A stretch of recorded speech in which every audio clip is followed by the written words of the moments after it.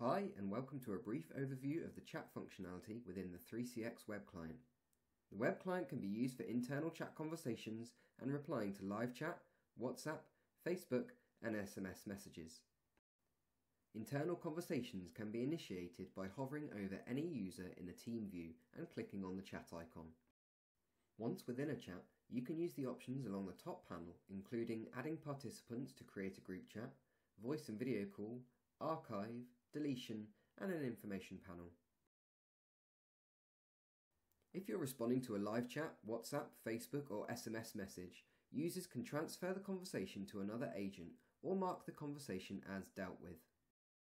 The More button reveals additional functionality including archiving the conversation, ending the chat session, and blocking an abusive visitor.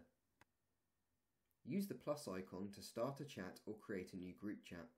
Select which users will be included in the group and click Next. Type a group chat name for easy identification and click Start Chat. You can use the Meet button to quickly schedule 3CX video conferences with your group participants. Group participants can be removed using the side panel and added using the button in the top bar. Responding to customer messages can lead to having to type the same message responses repeatedly. Use the quick response message templates to speed up your responses. Responses can be sorted into separate categories and languages. Agents can search for their desired response quickly using the search bar.